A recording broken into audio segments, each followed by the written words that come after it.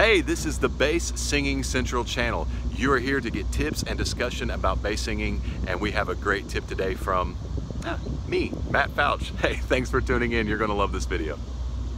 And I'm looking forward to a great video with you guys. If it's your first time here, make sure you hit the subscribe button, click the bell to get notifications so you don't miss any of the bass singing videos that I post in the future. I have plans to get with some other guys that sing uh, bass and talk talk about just bass singing in general, discussion videos, tip videos.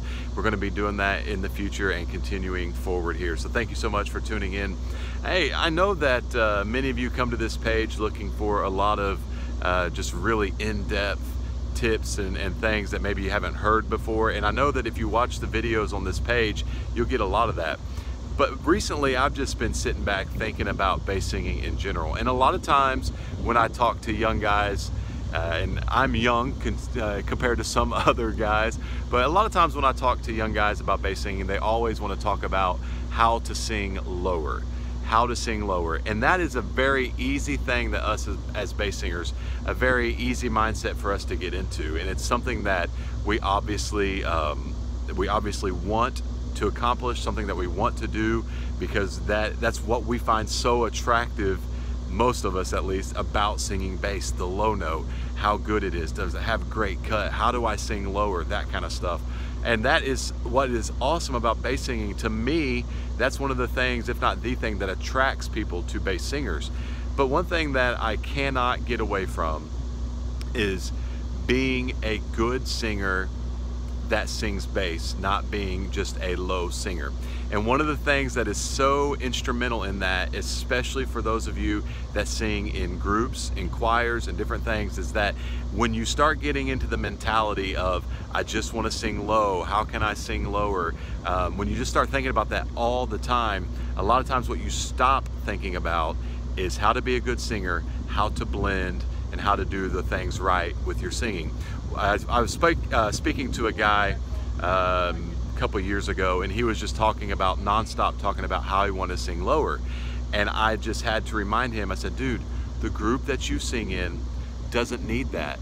That's not the image. That's not the sound of the group. The sound of the group is a nice blend that has everybody together a nice tight blend that doesn't doesn't necessarily need a guy to step up there and hit a low G every night and just blast through the subs. They're going for a different sound.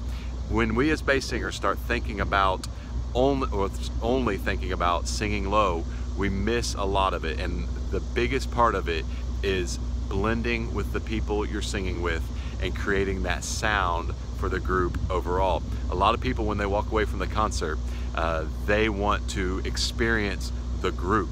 They want to experience the sound of the group. And when all we think about is lows, we're totally missing what the people are there for. The people are there for the group. They're there for the sound of the group. They're there for the experience. They're there for the, the roller coaster of emotion, if you will, of the songs that are selected.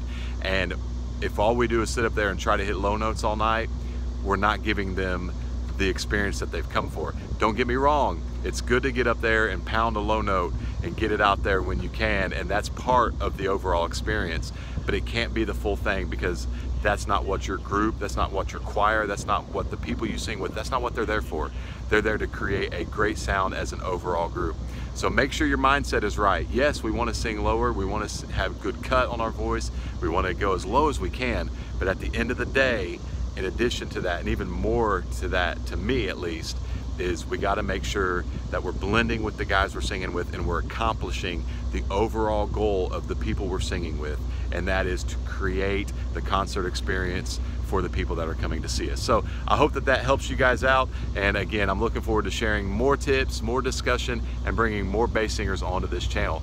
God bless you guys. Again, make sure you subscribe and get all the notifications so you don't miss any of the content in the future. Take care and we'll see you soon.